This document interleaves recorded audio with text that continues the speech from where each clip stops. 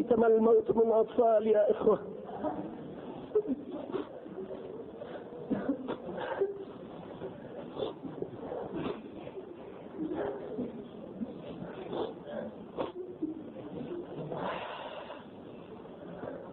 إنه الموت الذي لا يرحم صغيرا ولا يطلب كفيلا. ولا يقبل بديلا. ولا يرحم ولا يعظم كبيرا. ولا يوقر كبيرا. ولا يعظم عظيما. إنه الموت. إنه الموت. إنه الموت.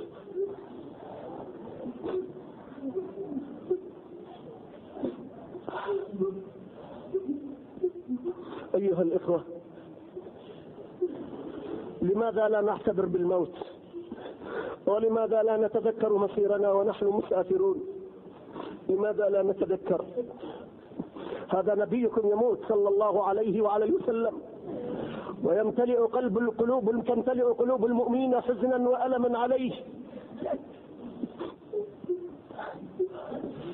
تودئه ولو طلب منهم أن يفدوه بأرواحهم لفعلوا.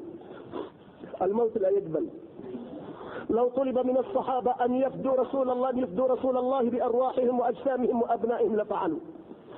الموت لا يقبل إلا من نزل القرار فيه. يستخلف أبو بكر الصديق بعد النبي صلى الله عليه وعلى آله وسلم. فكان أبو بكر رحيما بالأمة. كان رحيما بالأمة. خليفة عادلا حكم بدين الله بكتابه وبسنة رسوله. صلى الله عليه وعلى وسلم. ارتد من ارتد من العرب فقاتلهم حتى أعادهم إلى الدين. وفتح الفتوحات. وما هي إلا أيام بل في سنتين وشهرين. وإذا بأبي بكر الذي حبته قلوب المؤمنين وحنت إليه قلوب المؤمنين ينزل في ينزل به ما نزل بالنبي صلى الله عليه وعلى آله وسلم فهناك ينزل الموت بأبي بكر. ينزل الموت. تأتيه عائشة أم المؤمنين أم المؤمنين ابنته. وتدخل عليه وهو في في سياق الموت. فتقول لعمرك ما يغني الفتى عن الثرى ما يغني الثرى عن الفتى. إذا حشرجت يوما وضاق بها الصدر. ما يغني الفتى غناه وملكه وماله إذا نزل الأجل. فكشف أبو بكر وجهه وقال ما هكذا؟ ولكن قولي وجاءت سكرة الموت بالحق. ذلك ما كنت منه تحيد. جاءت سكرة الموت بالحق. هذا الذي طالما فررت منه وطالما هربت منه وجاءت سكرة الموت بالحق. ذلك ما كنت منه تحيد. أبو بكر الصديق رضي الله عنه أخذ ناقة من بيت المال فأعادها إلى بيت المال. وأخذ شمله فأعادها إلى بيت المال ولم يأخذ من بيت المال شيئا. حتى قال أبو قال له عمر لقد أتعبت من بعدك. يا أبا بكر أتعبت من بعدك.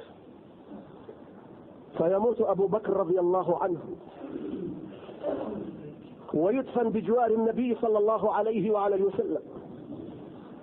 يلتحق الآخر بالأول. فيلي الخلافة عمر. فيبقى فترة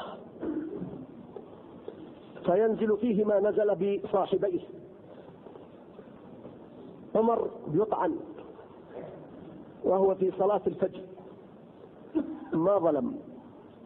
ولكن أراد الله له أن يحقق له الشهادة في مدينة النبي صلى الله عليه وعلى وسلم وعلى يد على يد رجل كافر. أبي لؤلؤة المجوسي عمر يودع الدنيا. رضي الله عنه وأرضاه. يقول لعبد الله ابنه يا عبد الله اذهب إلى أم المؤمنين عائشة وقل لها يستأذن عمر أن يدفن بجوار صاحبيه. كان مهتما بهذا الأمر أن يكون بجوار صاحبيه بجوار النبي صلى الله عليه وسلم وجوار أبي بكر. لطالما عاش معهما في الحياة. وكان النبي صلى الله عليه وسلم دائما يقول خرجت أنا وأبو بكر وعمر ودخلت أنا وأبو بكر وعمر وفعلت أنا وأبو بكر وعمر. فكان الرسول يذكر دائما أبا بكر وعمر. عمر يقول قل استأذن أم المؤمنين عائشة. وقل يستأذن عمر أن يدفن بجوار صاحبيه. ولا تقل قال أمير المؤمنين فلست بعد اليوم اميرا للمؤمنين.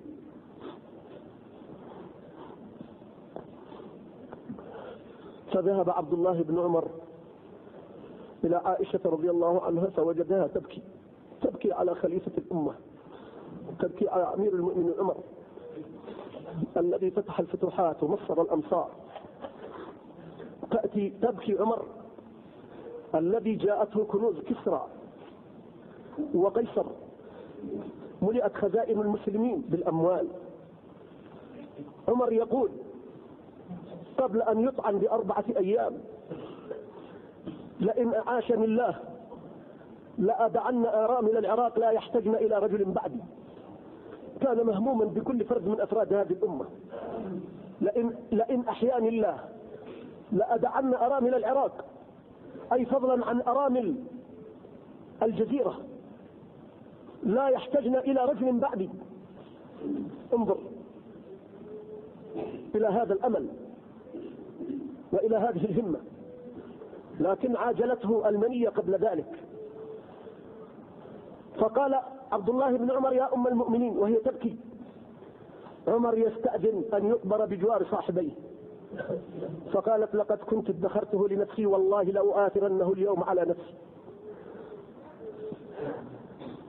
عمر رضي الله عنه. يرجع عبد الله بن عمر وعمر مضطجئ فيقولون يا أمير المؤمنين هذا عبد الله قد رجع. فيقول اجلسوني. فيجلس. فيقول ما وراءك يا عبد الله؟ قال الذي تشد يا أمير المؤمنين لقد أذنت. قال الحمد لله. ما كان شيئا يهمنه مثل ذلك. ثم بعد ذلك أوصى وصيته المعروفة المشهورة.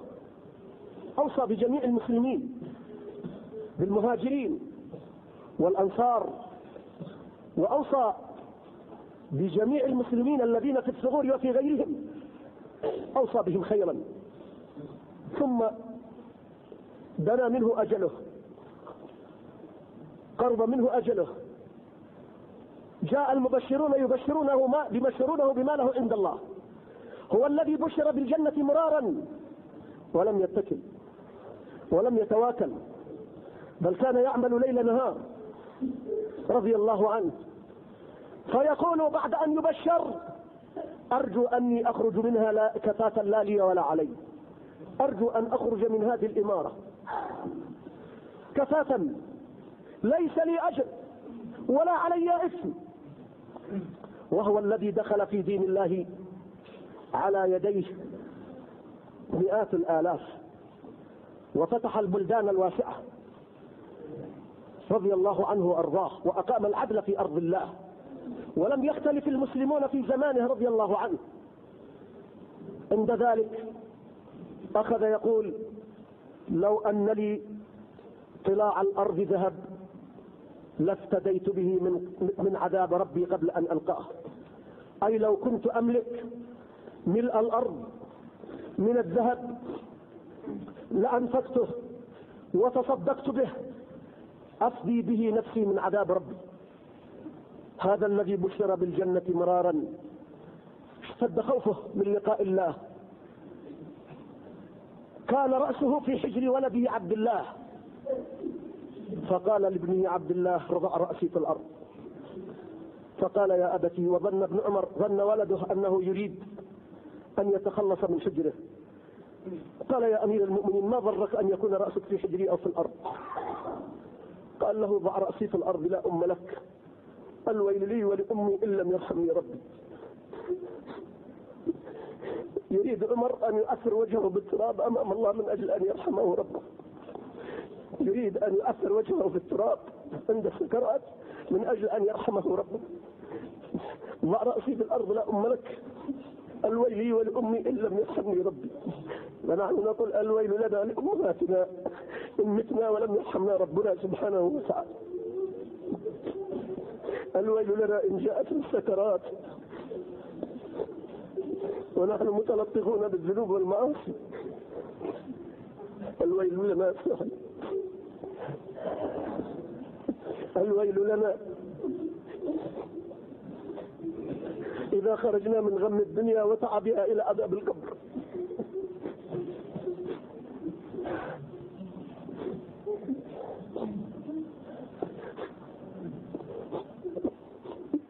عمر الذي بشر بالجنة مرارا يقول هذا الويل لي ولأمي إن لم يرحمني ربي.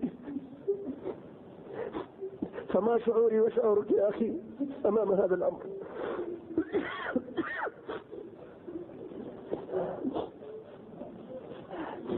الموت أيها الإخوة حصاد الجميع. هل أعددنا له العدة هل أعددنا لمواجهته؟ هل أعددنا للانتقال؟ هل أعددنا للانتقال إلى جوار رب العالمين؟ هذا معاذ بن جبل رضي الله عنه الذي قال النبي صلى الله عليه وسلم له يوما من الأيام يا معاذ والله إني لأحبك فلا تدعن دبر كل صلاة أن تقول اللهم إني على ذكرك وشكرك وحسن عبادتك. والنبي صلى الله عليه وعليه وسلم لا يحب إلا طيبا ولا يحب إلا صالحا.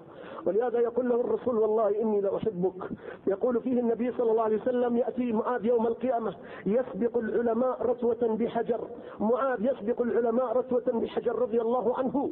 ومع ذلك حينما حضرته المنية وحضره الأجل وقد مات رضي الله عنه بطاعون أمواس ذلك الطاعون الذي يعتبر شهادة للمؤمنين. من مات فيه مات شهيدا يكتب الله عز وجل لمن مات بالطاعون من المؤمنين الشهادة. يكتب له الله الشهادة. حينما كان يعاني من سكرات الموت ليلة, ليلة اليوم الذي مات فيه كان يسأل من بجواره هل طلع الفجر؟ فيقولون لا. فلما طلع الفجر قيل له قد طلع الفجر. فقال أعوذ بالله من ليلة صبيحتها إلى النار. استعيذ بالله أن يكون من أهل النار. أعوذ بالله من ليلة صبيحتها إلى النار وأخذ يخاطب ربه ويتودد إلى ربه. يقول اللهم إنك تعلم اللهم إني, اللهم إني كنت أخاف أخافك فقد أصبحت أرجوك. ثم يقول مرحبا بالموت مرحبا بالموت. غائب مغيب حبيب جاء على فاقه حبيب جاء على فاقه المؤمن يفرح بالموت إذا نزل به حين يكون عمله صالحا. أما العاصي فالويل له. يقول مرحبا بالموت. غائب مغيب حبيب جاء على فاقه ثم قال اللهم إني كنت أخشاك فقد أصبحت اليوم أرجوك. اللهم إنك تعلم أني لم أكن أحب الدنيا لكري الأنهار ولا لغرس الأشجار. وإنما من أجل من أجل ظمأ الهواجر ومن أجل ليالي الشتاء ومكابدة الساعات ومجالسة العلماء على الركب في حلق الذكر. معاذ يقول هذا كنت أحب الدنيا لهذه الأمور لهذه الأمور. لظمأ الهواجر أي للصيام في أيام الصيف والحر الشديد. ولليالي الشتاء أي الطويلة ليالي الشتاء الطويلة التي يطول فيها قيامه لله وتطول فيها قراءته للقرآن الكريم وقيام وليالي الشتاء. ومكابدة الساعات أي مواجهة الساعات بالأعمال الصالحات ومزاحمة العلماء على الركب في حلق الذكر. كانوا يحبون الدنيا لهذا. لا للدنيا ولا لمالها ولا لشهواتها. أيها المسلم الكريم أيها المؤمن الكريم احذر أن يأتيك الموت وأنت في غفلة. عند ذلك لا ينفع الأذر ولا تقبل التوبة وليست التوبة للذين يعملون السيئات حتى إذا حضر أحدهم الموت قال إني تبت الآن. التوبة في هذا الموقف لا ينفع. هذا الموقف ليس فيه إلا حسرات. ولهذا قال ربنا يا أيها الذين آمنوا لا تلهكم أموالكم ولا أولادكم عن ذكر الله. ومن يفعل ذلك فأولئك هم الخاسرون. وأنفقوا مما رزقناكم من قبل أن يأتي أحدكم الموت.